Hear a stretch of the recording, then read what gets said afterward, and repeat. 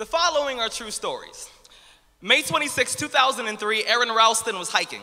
A boulder fell on his right hand. He waited four days.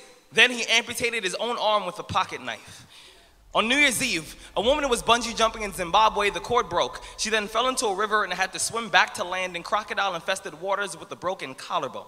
The most amazing part of these stories is when asked about the experience, they all smiled, shrugged, and said, I guess things could have been worse. When your day is a museum of disappointments hanging from events that were outside of your control. When you find yourself flailing in an ocean of why is this happening to me? When it feels like your guardian angel put in his two week notice two months ago and just decided not to tell you. When it feels like God is a babysitter that's always on the phone when you get punched in the esophagus by a fistful of life. Remember that you will survive. Remember things could be worse. Remember we are never ever given anything that we can't handle. When the world crumbles around you, you have to look at the wreckage and then build a new one out of all the pieces that are still here. Remember, you are still here. The human heart beats approximately 4,000 times per hour, and each pulse, each throb, each palpitation is a trophy engraved with the words, You are still alive.